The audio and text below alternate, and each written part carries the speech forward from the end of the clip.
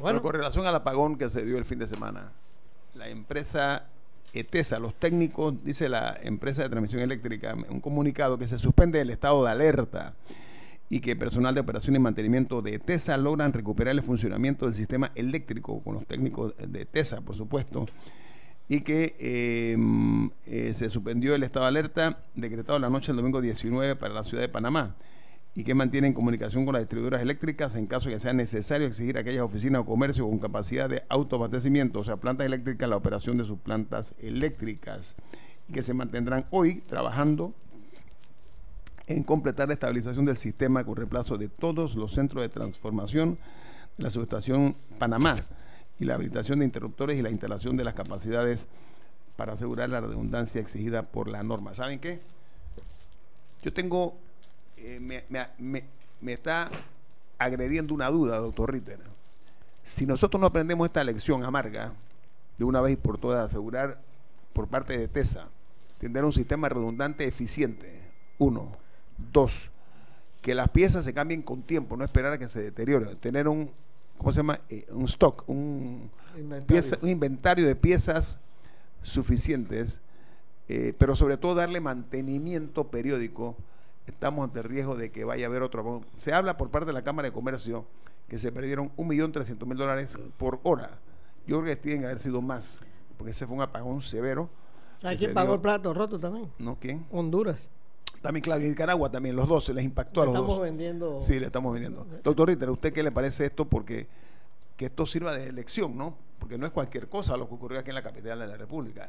Sí, eh, fue una sucesión de eventos, según escuché esta mañana, ya una explicación más serena de los tres transformadores que se quemaron en línea, no, no en línea, pero en, en forma sucesiva cada 40 minutos. O sea que con el primero la había capacidad para, eh, para reemplazarlo, eh, pero ya con el segundo y el tercero no.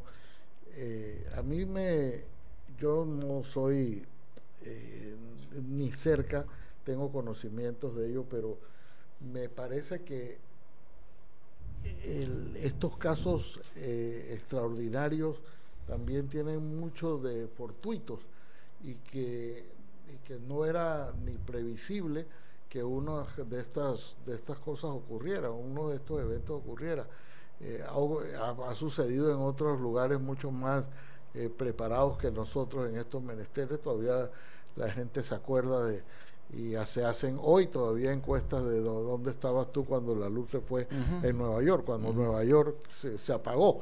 Han hecho como siete películas. Películas de, de, de, un apagón que, que no ha vuelto a ocurrir, por supuesto, pero, eh, pero eh, lo que quiero destacar con esto es que eh, no debe ser motivo de, una alarma extraordinaria el que se haya producido un apagón de esta naturaleza. Lo que sí debe preverse para que no vuelva a ocurrir. Pero me parece que hay un poco de, exageración. oí eso y el incidente racista de la, de la pizzería es lo que ha llenado los, los titulares de la, y los comentarios en los medios locales y me parece que los dos casos han sido sacados de proporción. Eh, Demasiado. Fue grave, por supuesto, y, causó incomodidad. Eh, Ana Sofía me contaba esta mañana sus, los sinsabores eh, de, de lo que ocurrió pero a mí me luce que es un poco eh, exagerado eh, eh, realmente y el, es el único comentario que tengo que hacer, más allá de, de, las, de la incomodidad y de las posibles consecuencias, las pérdidas económicas, por supuesto, de algo así. Y la incomodidad para la gente, ¿no? se me ocurre que, las, que ambos incidentes han estado sacados de proporción. Bueno, yo, yo sí lo veo como algo grave. Yo estuve en la calle, yo estaba en la calle cuando yo estaba en un restaurante, cuando se dio el apagón. A mí lo que me llama la atención es que se dieran estos, estas, primero estas explosiones, después el fuego que se dio. O sea, yo vi las fotos, eh, es impactante.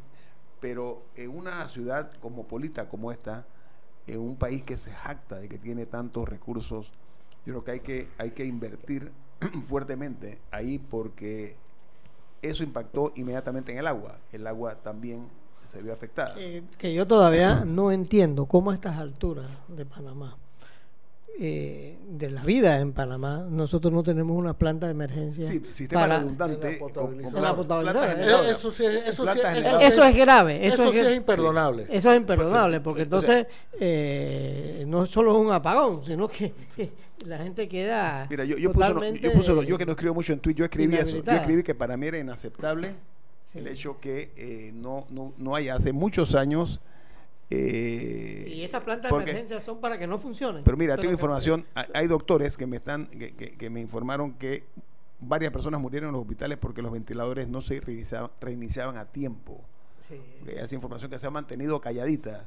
Sí. Esto es esto es dicho por médicos, ¿ok? Ok, pero, pero, eh, pero en ese caso... Eh, el eh, propio hospital es el que tiene que tener claro en su ese sistema. caso, eh, ahí... Sí. eh, bueno, muchos edificios no, no- las plantas no Bueno, funcionan. sí, ahí a lo mejor Eh, alguien se quedó trabado en un ascensor también porque los edificios no funcionaron las plantas. Pero eso no se debe al apagón, eso hubiera podido ser un... Eso, eso se debe al mal mantenimiento de los edificios Claro, que el- le metieron un plomo. Sí, A- no, no. Además a que. los- a, sí. a los residentes. No, que un plomo. No, le metieron un plomo Sí. porque la planta tiene que funcionar. Eh, Guillermo, Es que cada cierto tiempo que arrancarla, mucha hay que arrancarla por un par de mu- minutos Mucha para experiencia eh, en plantas de estas de emergencia. Eh, en 68 yo trabajaba en el aeropuerto de Tocumen y había lo que se llamaban las dos plantas que arrancaban al minuto de que se iba la luz en, en Panamá y ellas funcionaban, nunca dejaban de, de funcionar. Eso mismo debió suceder en los edificios, doctor Rita. Así es. La- Pero los porque- hospitales, yo voy a los hospitales, Sí. donde está por los medio de la hospitales vida. también, en los hospitales esto no puede darse, o sea, no puede ser, de- tiene que haber un sistema eficiente, o sea, tiene que haber gente ex- Aquí experta y juntas, las juntas directivas de los edificios van a tener que demandar a las empresas que no le dieron mantenimiento a sus plantas, porque las plantas deben funcionar cuando tienen que funcionar. Punto. Hay una pregunta. Como una llanta de repuesto. Sí, pero esto, esto, esto amerita algún tipo de, de a- ETESA tiene que pagar algo por los, por los efectos eh, los dañinos causados, doctor Ritter. No, o sea, ahí cabe, ahí cabe, obviamente que ellos tienen que pagar esto, por los eh, efectos. Hay mucha gente que se dañaron equipos, o sea, pasaron muchas cosas. Eh, eh, es- eso, ¿cómo, cómo, ¿Cómo queda eso, doctor Ritter?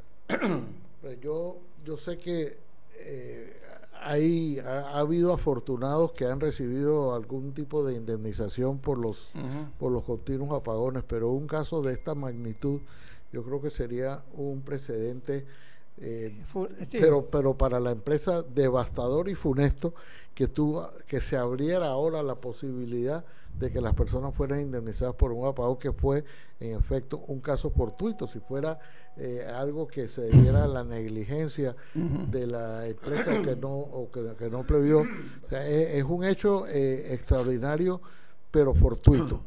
Y yo no creo, de, sinceramente no creo que, que esto dé para más eh, fuera de la explicación técnica, eh, fuera de los, de los llamados que se hicieron a que se racionalizara el, el uso El consumo. del, del el consumo, eh, especialmente en aquellos lugares de consumo eh, masivo, como los centros comerciales y demás, que consumen una gran cantidad de energía. Sin embargo, esta mañana ya escuché que para todos los demás efectos el, el, el consumo es normal, o sea, el, el, la- el suministro de energía eléctrica es normal. Eh, eh, me escribe aquí un oyente, el, doctor James Bernard, abogado. Dice, buenos días, es muy grave el tema de la discriminación en un restaurante local. Este caso se llega a conocer porque se trataba de cuatro chicos del equipo nacional de fútbol.